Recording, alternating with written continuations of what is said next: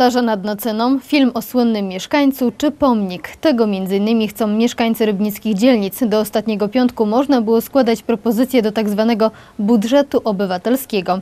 Jak się okazuje, pomysłów mieszkańcom nie brakuje i do magistratu wpłynęło 69 wniosków.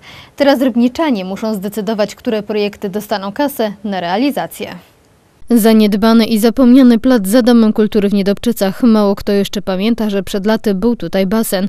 Dziś teren straszy, ale jest szansa na to, że stanie się wizytówką dzielnicy, bo właśnie zagospodarowanie i ożywienie tego miejsca jest celem Stowarzyszenia Miłośników Niedobczyc. Jest poszerzony projekt, jest zagospodarowanie tego miejsca po basenie kąpielowym. To w, mamy to w projekcie, że to będzie boisko wielofunkcyjne, będzie siatkówka, koszykówka i tenis ziemny oraz cały obiekt będzie ogrodzony. Projekt zakłada także stworzenie zielonych skwerków, budowę ścieżek oraz skateparku i minigolfa. Swoje plany stowarzyszenie zgłosiło do budżetu obywatelskiego, do którego propozycje można było zgłaszać jeszcze w zeszłym tygodniu. Bardzo dobrze się złożyło, że miasto wystąpiło z takim budżetem obywatelskim. Myśmy się do tego budżetu dołączyli. Miasto, miasto przeznaczyło na dzielnicy Niedobczyce 140 tysięcy i uważamy, że z pożytkiem to wykorzystamy.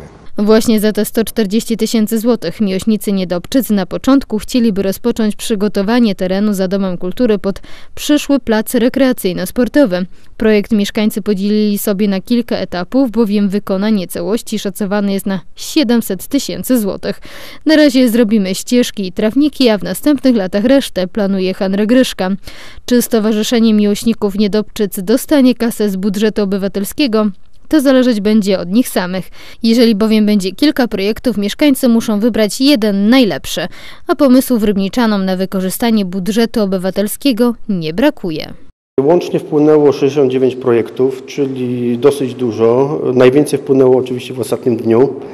Także odzew ze strony mieszkańców był dosyć duży, dosyć wyraźny. Urzędnicy przejrzeli już wstępnie wszystkie projekty. Jak się okazuje, nierzadko z jednej dzielnicy wpłynęło kilka wniosków.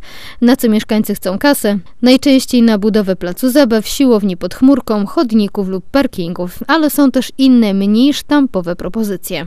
Zorganizowanie plaży nad Nacyną na przykład, y, budowa y, pomnika y, upamiętniającego cmentarz żydowski.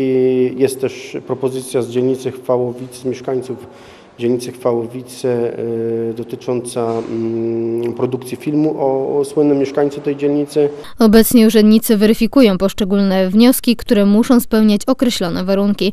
Przede wszystkim nie mogą przekroczyć przydzielonych na daną dzielnicę pieniędzy. Im większa dzielnica, tym więcej kasy ma budżet obywatelski. Teraz jakby główne zadanie dla tych projektodawców, y, żeby przekonać mieszkańców swoich dzielnic do tych swoich pomysłów, żeby uzbierać jak najwięcej głosów. Głosowanie na poszczególne propozycje ma się odbyć w połowie września. Dodajmy, że w tym roku 2 miliony złotych z budżetu miasta zostało przeznaczone na realizację projektów obywatelskich.